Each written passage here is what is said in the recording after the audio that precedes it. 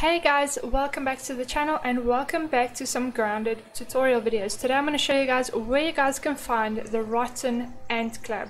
So I'm over here by the bird bath. If you guys want to check out on how to complete the marker at the bird bath bluff, I do have a video on that. I also have a video on how to collect berries as well.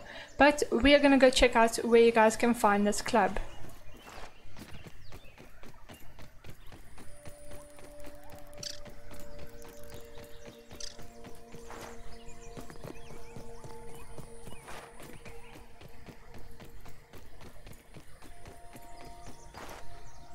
Know I'm a picky eater, but just give me a second to let my eyes adjust to that.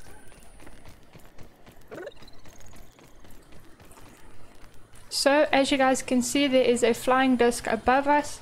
There's a wall to our left over here and you'll, you guys will find a little cave entrance tunnel, whatever you guys want to call it, right over there.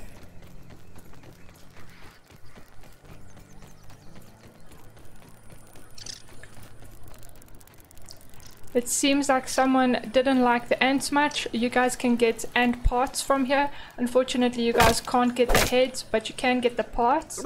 And over here, you'll find a rotten ant club.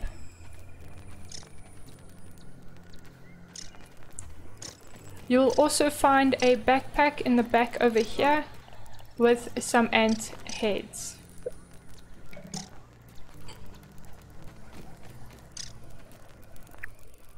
This is where I am on the map, quite far from our mystery mysterious machine.